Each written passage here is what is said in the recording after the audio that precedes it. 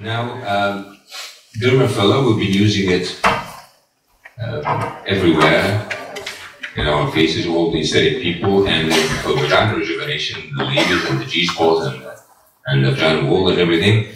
But we now have a new indication, which has been going on for some time, but we're getting one of the absolute experts about it to talk to us about penoplasty with Dermafilla.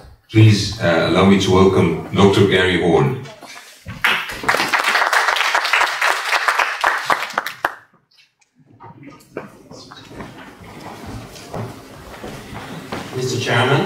Colleagues, first of all, thank you for the invitation today. So I'm going to talk to you about the non-surgical penoplasty using hyaluronic acid. We call it Androfill technique. So first question, why are we doing this? Uh, as a surgeon, I've been doing a lot of uh, surgical penoplasties, and I came across a lot of patients who had absolutely no fat available and I had to find a solution for this uh, gentleman. And I decided to use fillers. But what kind of fillers were available? As you know, fillers have been used for a long time. In 1899, it was paraffin oil. In 1940, we started using silicone, especially to the breast, with all the problems we know. In 1970, uh, collagen was used for the first time, and it was the only filler available on the market. And that has been on for the next 22 years. Hopefully, in 2003 was the time for hyaluronic acid, and it became so popular, it was also approved by the FDA. Now, what is the definition of the ideal filler? The ideal filler should be co-compatible, safe, stable at the implanted location. It should keep its volume. It should induce minimal foreign body reaction, including granuloma, and have no migration to other locations. What are now the uh, difference between surgery and non-surgical treatment? So, what the pros and cons for the surgery? Of course, with surgery, you can also increase the length of the penis by releasing the suspensory ligament. For the girls, we're using the own fat of the patient. We can use a large amount, and there's no cost involved. It's one single operation, so one simple general anesthetic, to increase at the same time length and girth. Apart, of course, for fertile uh, top-ups in a, in a few months later when necessary. What are the cons? Well, it has to be done with a general anesthesia. The recovery time is longer, it's about two weeks or sometimes more. And there are some frequent complications, including scars, infections, etc. And fat resorption, which is not on this list. And uh, the main thing for us was actually patient needs to have sufficient fat to increase the girth. What about fillers? The pros for fillers, it's a simple procedure. It's a safe procedure. There's no downtime. It's actually a local anesthetic, as you will see. And the cons is they uh, only last 18 months, and the patient has to come back for that. And of course, it involves a cost. Where to inject this filler? It could be injected in the subcutaneous layer but you will see that actually it's not the ideal situation because you end up with some lumps. So we prefer to inject it deep to the dartos fascia.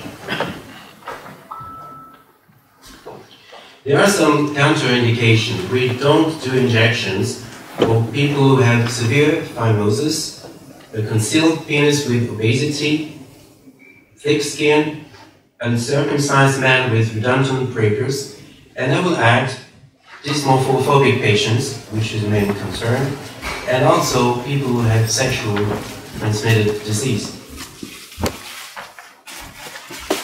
What is the technique? Start with a local scrubbing. We apply EMLA cream, but you will see that if we are using a cannula, also add a local block. We can use needle or we can use a cannula, and it has to be done in a flaccid state. You don't want to do that in the erect state because it bleeds too much. The injection, again, is either subcutaneous, but we try to avoid that, or deep to the diaphragm fascia.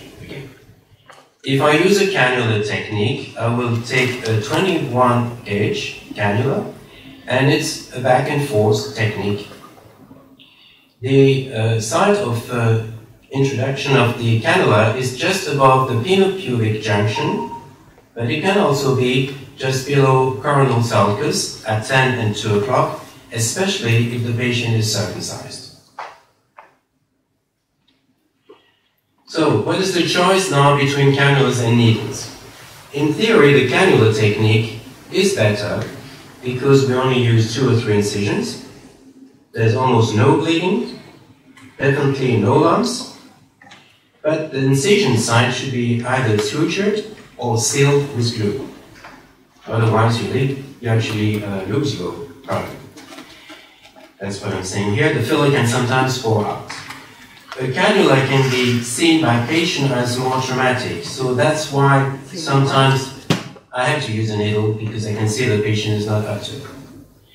Or if the patient is not circumcised, it's not always easy to use the coronal sulcus incision site. So when we're using a needle, what are the pros and the cons?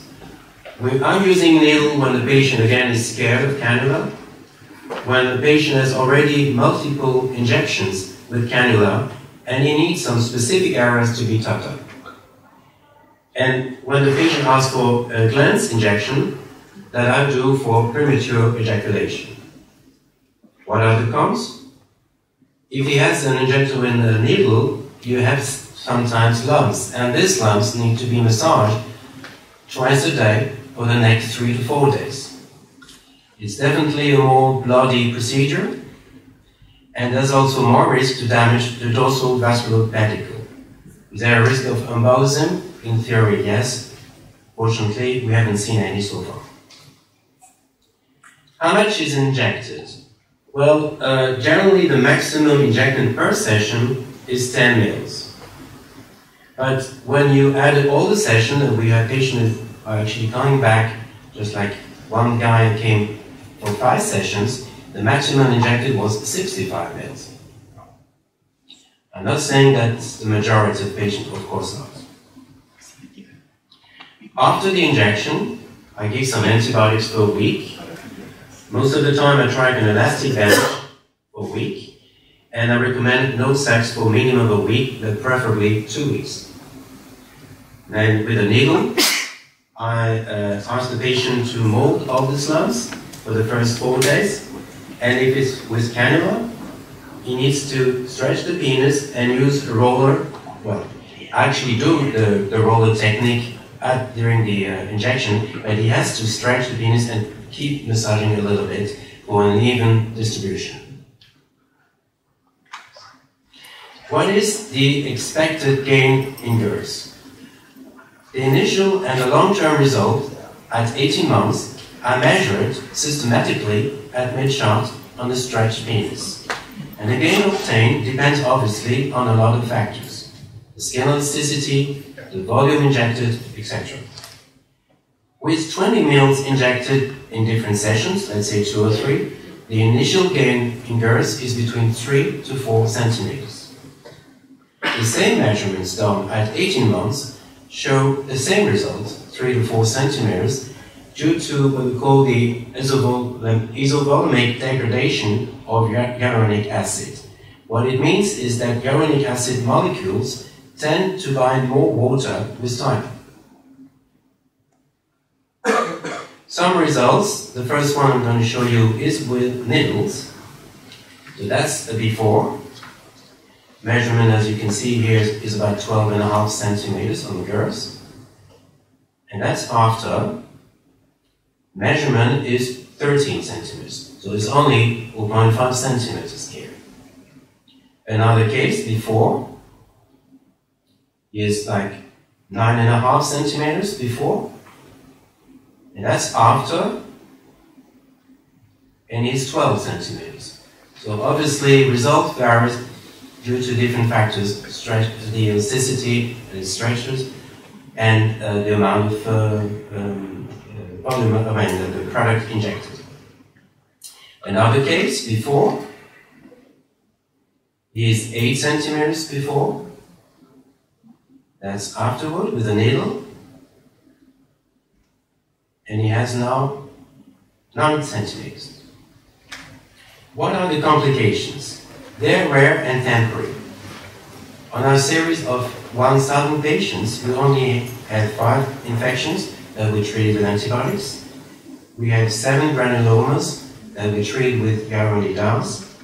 We had one blue discoloration, no, we, sorry, we had no blue discoloration that we uh, call the Tyndall effect. You get this when the injection is too superficial. We had two filler migration that we treated with, again, hyaluronidase. And we had one case of allergy that was treated with hyaluronidase and antihistamine.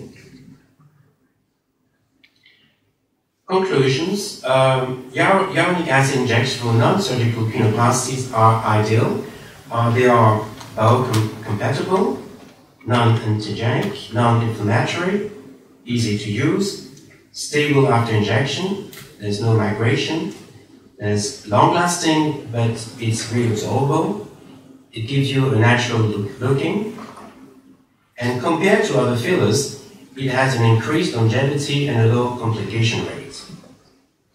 Thank you for your attention.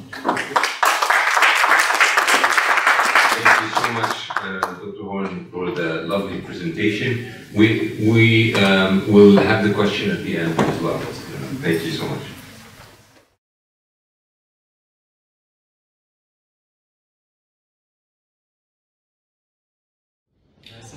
Dr. Gary, yes, please. Uh, I think that if the uh, location of the filler is right and if the quantity is right, there shouldn't be a problem like this. Personally, all my patients have said they have a better sex life and uh, no problem with erections whatsoever. I, I also think that it's mostly for a patient to have such procedure, he also has some psychological distress because of the size of the penis, and that's why he wants to. So it raises his morale a lot when he have when he feels that he have a bigger size. So actually, uh, his erection will be improved and his confidence will be improved.